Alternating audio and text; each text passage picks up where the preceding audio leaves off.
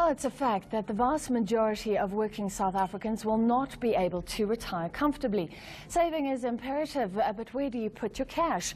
The debate continues to rage around property versus stocks. And this week, two passionate investors have expressed their opinion in the press. On the side of buy-to-let property is Neil Vorster, who's an investment coach and founder of Organic Growth. And someone who's skeptical about buy-to-let is Magnus Heystek, director at Brenthurst Wealth. Good evening to you, gentlemen. Neil, let's start with you because you say that buy-to-let has worked. You have proof and it's worked for you yourself. Yes, well, my story is um, in about two the year 2000, I read uh, Rich Dad Poor Dad, uh, Robert Kiyosaki's book, and it changed the way I thought. Because until then, I was buying liabilities and calling them assets. And I started thinking about how to invest, and I came across uh, townhouse investment in good areas. So what I did is I I started buying uh, small townhouses in the northern suburbs of Johannesburg, good areas, Morningside, Sandton, North Riding, and it's really worked for me. Um, the townhouses I bought back then have, have already paid for both my daughter's university educations, and uh, my retirement is quite secure. So great returns. You're skeptical, Magnus.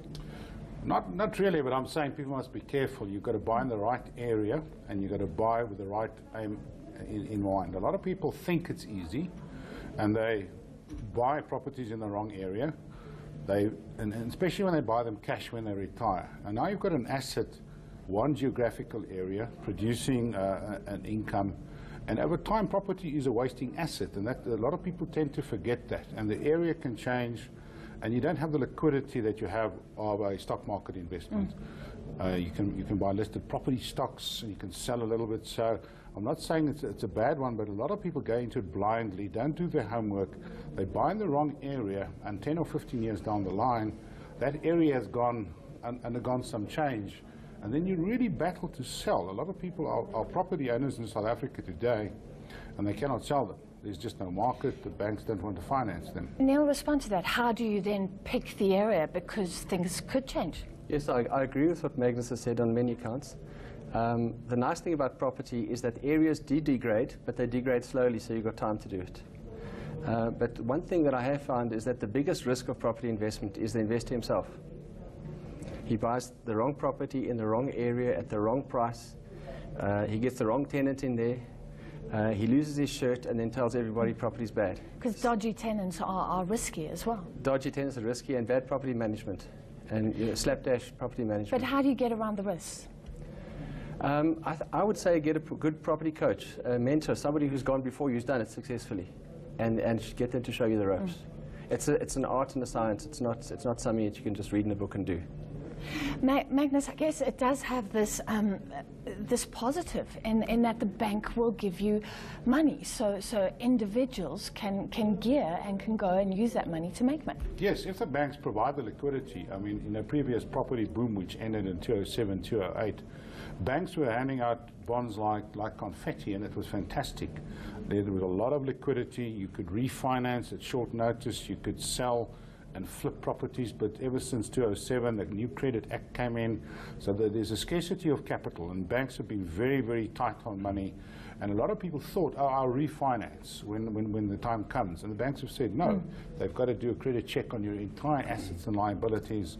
And a lot of people have fallen into a liquidity trap where they have assets, they're asset rich, but income poor. They don't have income, they cannot sell half of a property or a quarter. So it depends very much on timing, depends very much on how you do it.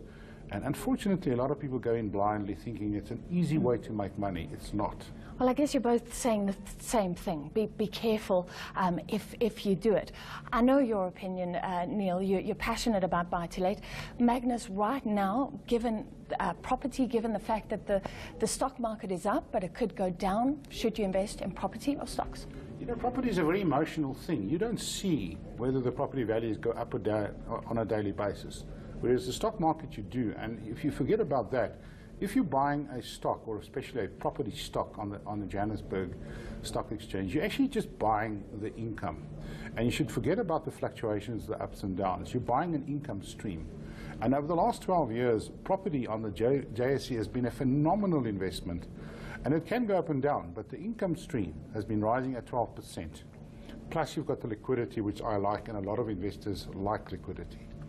A final word from, from you, just advice to investors who want to start getting into the buy-to-let market. My advice is the buying time is starting now. We're the beginning of a buying season. The banks are starting to, to release money. I saw my first 100% bond about three or four months ago.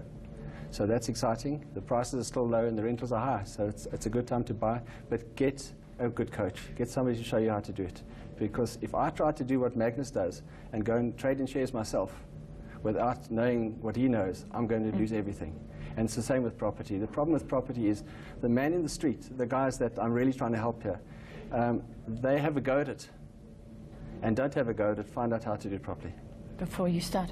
A final word, uh, advice to investors out there, people who are worried hearing these stats that, that 75% of working South Africans uh, will not be able to retire and, and keep their living standards. Well, they're going to retire, but it's not going to be a great retirement. So, yes, that's quite true.